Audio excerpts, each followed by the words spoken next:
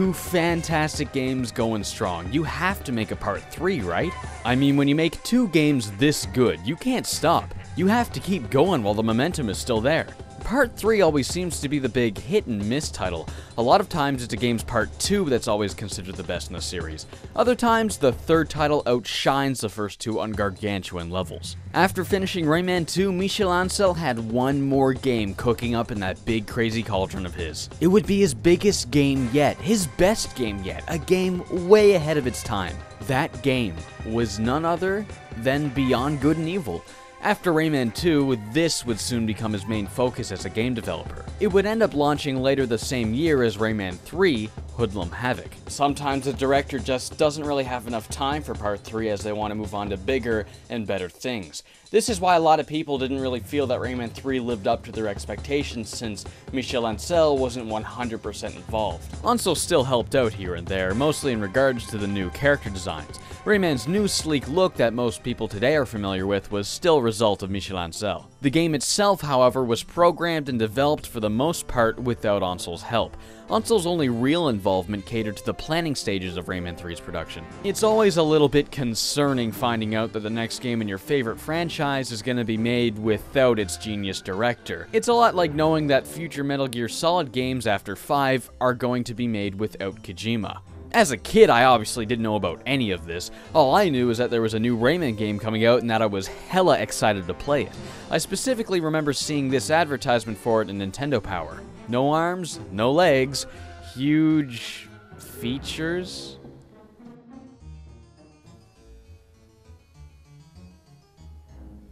I'll be playing the GameCube version of the game, not because it's really the definitive version, because I guess the Xbox and PS2 versions are pretty similar, but uh After Rayman 3's moderate success, an HD port was made for the PlayStation Network and Xbox Live Arcade. It had a smoother frame rate, high definition graphics, and much cleaner textures. Unlike Rayman 1 and 2, this is the only time the game's ever been re-released. I guess Ubisoft finally decided to stop milking the Rayman franchise, but I mean by this point they had Assassin's Creed, so why would they even bother? When the game was finally finished, Michel Ancel said that he was very proud of his development team for finishing the game to this level without his help, though he did say if he were involved, he would have made the game very differently. With that said, it's hard to really know what to expect from Rayman 3, so I guess we'll just have to play it to find out. The very first thing you see is a language selection screen. Instead of being conveyed with words, it's conveyed with a clothesline full of underwear with different flag patterns on it. We haven't even started playing the game yet. I'm having a blast already. For real though, underwear is hilarious, and if you want to disagree, you can you can leave. Then we're treated to a pretty sick montage trailer thing featuring the song Matter by Groove Armada. Unfortunately, I can't put the song in the video without getting a copyright claim from YouTube, so I guess instead I'll put an annotation here to the song if you care enough to listen to it. Rayman 3's story begins with Rayman and Globox relaxing in the peaceful glade of dreams. A black lum named Andre appears and starts turning all of the red lums into black lums. They then bind together to turn Andre into a hoodlum. Alright, can we just stop a minute and, and really appreciate how clever that is? When lums become bad lums, they turn into hoodlums. Like, that, that's not even cheesy, that, that's just clever. With the Glade of Dreams in immediate danger, Murphy wakes up Globox, while Rayman just won't get up. In attempt to pull him away, Globox ends up tearing off Rayman's hands. Being the coward he is, he runs away with them. Murphy then grabs Rayman and flies away with them as the hoodlums take fire. The first bit of gameplay is an on-rails section where you'll move Rayman and Murphy left and right to grab some lums. Okay, there's already a lot of things wrong with this. Firstly, why would you make the very first bit of gameplay something that's radically different from the main kind of gameplay, but also something you'll never return to after the first few minutes? I always found this bit to be really pointless. It easily could have been replaced with a short cutscene. I guess this part's supposed to teach you that you can grab lums to restore health, though that could easily have been conveyed in the first platforming bit, so I, I don't know why they have this. Another thing is that Murphy is cracking a lot of one-liners and making fun of Rayman. Okay, that's fine, the game's trying to have a sense of humor, however, good luck hearing what the hell he's saying because Rayman 3's audio mix isn't, isn't that good. The music during gameplay is way too loud to get a clear idea of what Murphy is even saying. Luckily though, you are able to turn down just the music volume, leaving up the voice volume. This makes it a lot easier to hear what exactly the characters are saying. But still, the fact that I even had to do this is a problem in itself. It's not like Sonic Adventure 2 bad, but there's a lot of parts in the game where the music is just too loud to hear what the characters are saying. More evidently, the audio cues are all over the place. Characters start talking either way too late or way too early. Sometimes they start talking when another character isn't even done talking. It won't be easy. The tunnels are swarming with Knaaren, and those beasts are invincible. Yeah, well, you got a better idea? You bet your bedum dollar I do. Okay, listen closely, Big Nose. This is mostly evident in the real-time cutscenes and the opening sequence. Other than the audio mix, Rayman 3's presentation is really good. Characters have crisp and appealing models with smooth and clean textures. Rayman 3 graphically is really impressive. It's likely one of the best looking cartoon style games of its time. I really like the designs of the hoodlums. They're like scarecrows made out of sewn together potato sacks. They're scary enough to work as an enemy, but they're still silly enough to fit into Rayman's world. Unlike Rayman 2 with its dark tone and edginess, Rayman 3 brings the franchise back into being colorful, wacky, and silly. I'm really glad because we're talking about a franchise with a dude that doesn't have limbs. How do you even think to try to make that serious? It's funny because this is the first game with cover art featuring Rayman with an angry expression instead of a happy one. Looks like they pulled a 180 on us. Alright, so after Rayman and Murphy escape the hoodlums, Murphy gives Rayman a briefing on what exactly just happened. Similar to the scene in Spaceballs where they watch the movie to figure out what to do, Murphy just pulls out the game's manual and just reads the synopsis. It's all in here. If you read the story, you'll find your way out. Once upon a time, there were lums. Harmony, love, peace. Boring! Suddenly, a black lum transforms the red lums into hoodlums. The world is in great danger. Ooh, here we go, here we go. It says here that Globox took off with your hands. All of the following tutorials are delivered through Murphy reading the manual, though he makes fun of it time to time. This manual just blows my mind. it explains the switch's trigger mechanism. Duh! Police! Who's responsible for this garbage? The game's humor is really hit and miss. Sometimes it might give you a good chuckle, but it's really forced other times. In this game, Murphy is voiced by Billy West, most known for voicing Stimpy and Philip J. Fry. You'd think with voice talent like that, he'd be more consistently funny, but what can you do? Love or hate Murphy in this game, he's only there for the first level. See you in Rayman 4! How dare you tease me like that? Rayman 3's controls are very similar to Rayman 2's, though now they're even smoother. Rayman 3 had some of the smoothest, best feeling controls in any platformer I've ever played. Just moving Rayman around with the stick feels natural and precise. The helicopter hair has also been changed from toggle to hold, which I personally like a lot more. And of course, back yet again, are the ledge grabbing mechanics. In that regard and many others, Rayman is even more maneuverable than he was in previous games. Okay, so you'll shortly catch up with Globox reuniting Rayman with his hands. You're now able to attack. This time Rayman's back to throwing his hands to punch instead of throwing glowing balls of light. I'm really glad they went back to this because it just seems so much more iconic to me. You're now able to charge up your punch while moving around. You also retain the charge if you decide to jump. In Rayman 2, if you jumped, you'd lose your charge, and that was something I really didn't like. Rayman 3's combat has been vastly improved over Rayman 2's. The lock-on now has a much more direct focus on the enemy, and Rayman feels a little bit more acrobatic, improving his ability to dodge. You're also able to fire curved punches by releasing a punch while holding left or right on the control stick. You can use these to get around barriers, enemy defenses, or if you just plain feel like it. The improved combat is way more fun than it was in Rayman 2. To further complement this, there's a great variety in enemies this time. Rayman 2 is home to very few enemy types, but Rayman 3 is sporting an entire army of hoodlums, many with different classes and specialties. You've got your standard hoodlums that'll be out with a single charged punch, but also elite hoodlums that'll fare a much greater challenge. There's also Hoodstormers, miniature flying hoodlums, and Hoodbooms, hoodlums packing jars of explosive plum juice. One of my favorite enemies is the Hoodoo.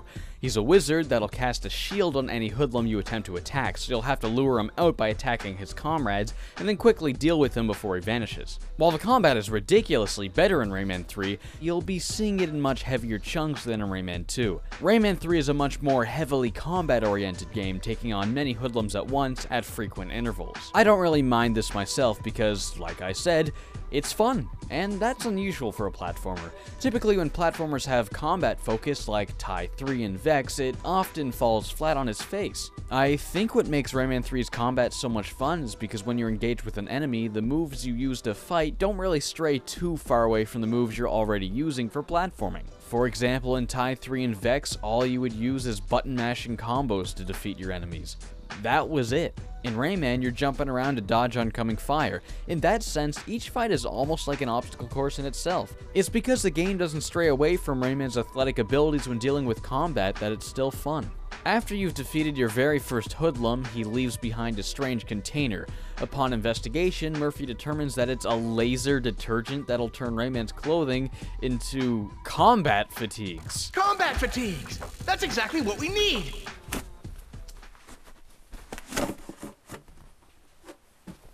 Hey man, whatever works. This is just the first of many power-ups that Rayman will have access to in the game. Very stunning.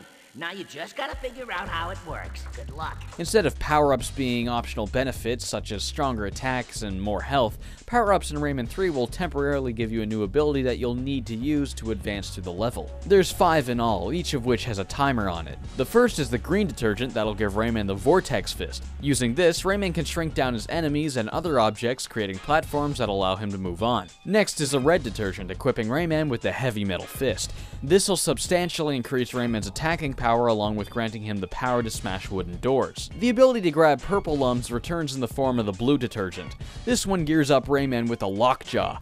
Using this, he can latch onto his enemies and deliver many volts of electricity into their bodies, and also to swing on flying hooks. The flying hooks are pretty much this game's equivalent of purple lums. There's also the shock rocket contained within the orange can. This one turns Rayman's hand into a missile that he can guide at enemies, switches, and various other objects. And finally, we have the throttle copter. This will give Rayman the power of flight for just a couple of seconds. The timer on these power-ups vary. For example, the blue one lasts a very long time, while the yellow one lasts merely a few seconds. So after you defeated this hoodlum, Andre emerges, telling Rayman that he's going to use the power of the heart of the world to multiply infinitely so he can destroy the world. But before he could get there, Globox accidentally swallows him. Now having Andre confined to Globox's stomach, Rayman and Globox set out to find a doctor that can remove Andre. Until then, every hoodlum in existence is now hell-bent on killing Rayman and Globox in order to rescue their master from this bozo's stomach. I'll be honest, I do get quite a kick out of this game's plot. There's a lot more to it than Rayman 2's, and it has a lot more personality and quirk to it. The scenes where you actually meet up with the doctors are also pretty damn funny too. Throughout the game, you'll hear a lot of dialogue between Andre and Globox.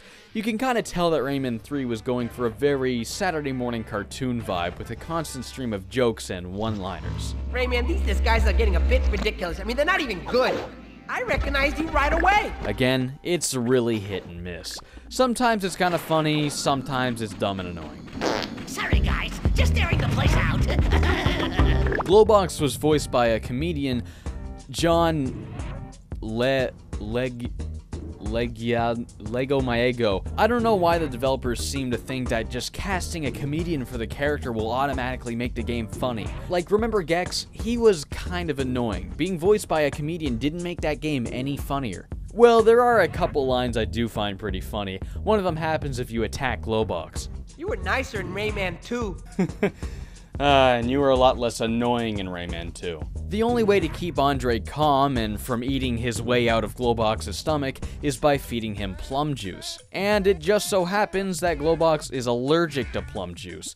You'll find a barrel of this juice every now and then that Globox will not hesitate to guzzle down. This will put Globox in a bizarrely drunken state, sometimes causing his body to swell up and float like a balloon. When this happens, he'll burp out some bubbles that Rayman can then use to climb to the next area. So obviously, with Plum Juice being in the game, the Purple Plum also makes a return. Though it's a very underwhelming return, you don't see these things very often, and when you do, it's simply a matter of picking it up and just throwing it onto a spike to use as a platform. No more riding it through lava, no more turning enemies into platforms, no more anything, really. The plum's been reduced to a fraction of what it was before. The thing's not even very durable anymore. While it was able to withstand molten lava in Rayman 2, it now struggles to even exist in water. What happened, man? Rayman's plum's become a bum. Plums are really one of the only things that make a return from Rayman 2. There's no more shell or slide stages either, which is a big disappointment considering how fun they were. Instead, we have these shoe racing segments. Rayman shrinks down, landing in his shoe, and then he proceeds to drive it around like a car. It's really silly, and it gave me a good laugh the first time I saw it, but the actual gameplay involved in these bits is pretty lackluster. You'll essentially just run into the other shoe a couple of times, and that's it. Minigame's over. You don't have to do this very often in the game, but it's almost insulting to see something so fun replaced with something so boring and dull. There's also the new rocket boarding stages that'll have Rayman surfing on a rocket board through a psychedelic tunnel while disco music plays. These stages are actually pretty fun. They're definitely no substitute for the shell segments, but they're not half bad. While Rayman 2 had 19 levels, Rayman 3 only has 9. However, Rayman 3's levels are much longer, some taking up to an hour to complete. The levels are split into chunks with checkpoints in between. If you save and quit the game, you'll return to the last checkpoint mid-level. So while some levels are an hour long, you never have to run through the whole thing in one sitting. My favorite level in the game is called the Longest Shortcut. It's the only stage that really doesn't have that much combat, but instead just a bunch of straight up platforming. You know, this stage kinda makes me realize, while I don't mind the heavier focus on combat, the game definitely would have greatly benefited if it didn't shift focus from platforming. The world map has been simplified down to a level select screen. It's vastly less exciting, but it's more practical in actuality. Though you only visit each stage throughout the story once, you can pause the game whenever you want and return to any level at any time you want. The only reason you'd really want to go back, though, is to get cages you've missed or rack up a better score in each level. Just like every Rayman game, cages once again return, this time containing imprisoned teensies. A detail about this game I always appreciated is that every teensy you free has a personality of his own and also something to say.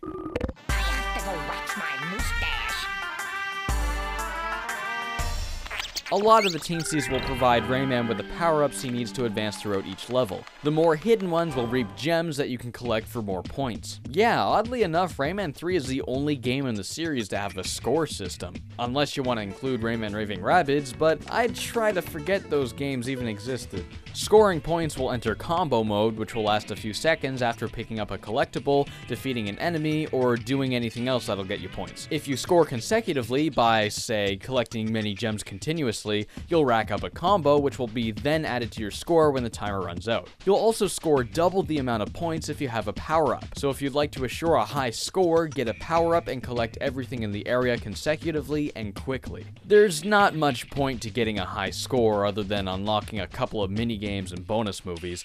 The mini games are all really forgettable. Some involve mechanics taken straight out of the game, while others are half-assed bonus games where you play as a hoodlum or some other character. They can be fun for maybe like 5 to 10 minutes each if you have some sort of curiosity about them, but they're really nothing you're going to spend a lot of time on. The GameCube version actually had an exclusive minigame where you would hook up the Game Boy Advance to the console. This one was surprisingly a lot of fun. Player 1 plays as Rayman controlling his little shoe car, while player 2 has to build the track for him on the Game Boy Advance. The pieces get smaller and smaller and more abstract and harder to use as the minigame goes on. My friend and I used to play this one all the time, it was a blast. There was also a 4-player version of it, but I never had enough Game Boy Advance cables or people to play that one. There seriously needs to be some sort of iteration of this game made for the Wii U. That would be awesome. One player could use a gamepad's touchscreen to build a track while the other player uses another controller to race it. Can somebody please make that happen? That would be amazing. When I was a kid, I really loved the bonus movies. Essentially, you'll unlock episodes from the How to Kick Rayman DVD box set that some hoodlum made. I guess. It features him beating up various stand-ins for Rayman in various ways, most of which go horribly wrong. It's nothing must-see, but it's a nice bonus if you want to put forth the time for it. Rayman 3's bosses are definitely a step up from Rayman 2, I guess. They do tend to drag on though. The first boss fight is kind of frustrating. The missile you fire at him has an awful habit of not connecting and landing a hit is kind of hard to do. There was actually a boss cut from the game due to being too big. You're supposed to fight him here instead of this guy. Despite being removed from the game, there's still a lot of references to him. For example, this large wanted sign that features his face. I actually remember seeing this guy paired up with the other villains in some official artwork, but I never knew where to find him in the game. It was almost like a big mystery. Who was this guy and where do you find him? It is possible to still find him physically in the game.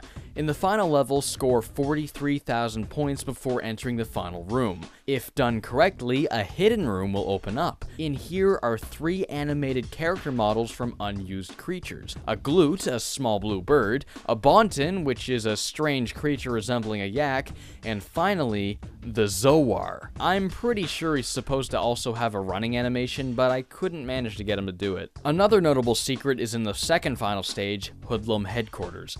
If you jump onto this here and enter in the side, you'll see a diorama of the entire villainous cast from Rayman 2 posing like the Last Supper. Now this is a really cool Easter egg. In this level, you're greeted by a seductive voice that plays over the intercom. Good day.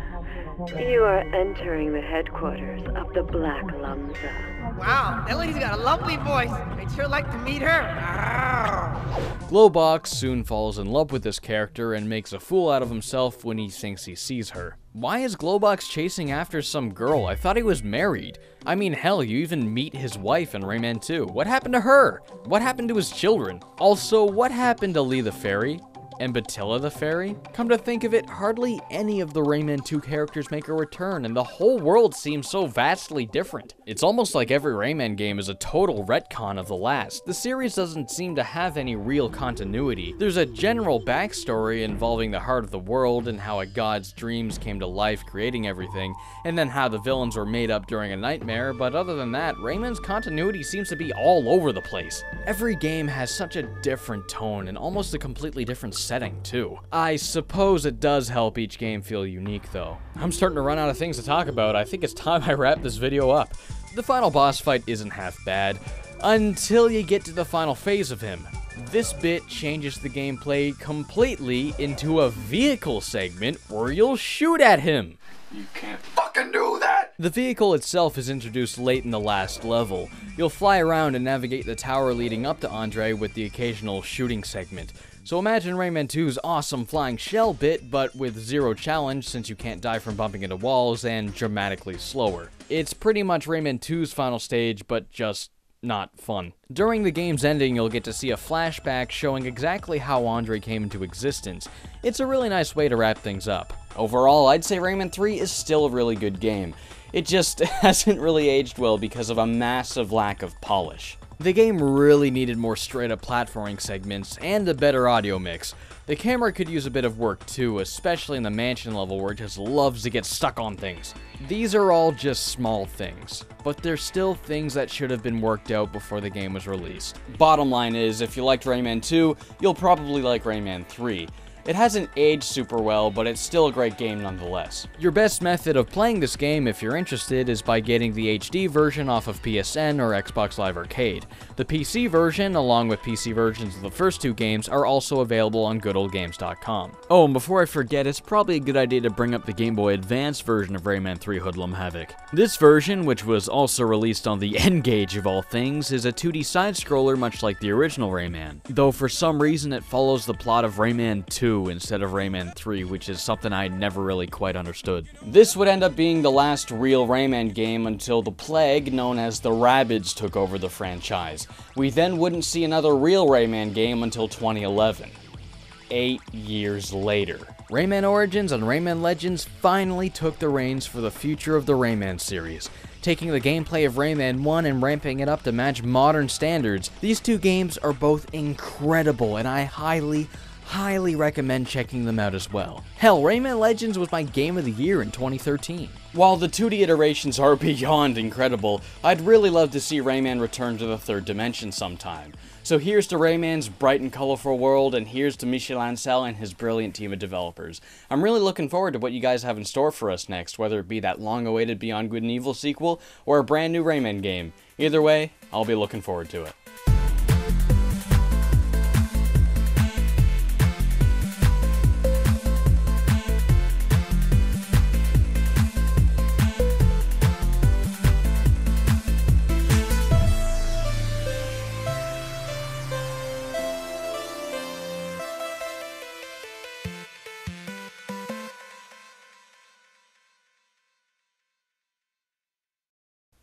I'll be playing the GameCube version of the game. You can't see it.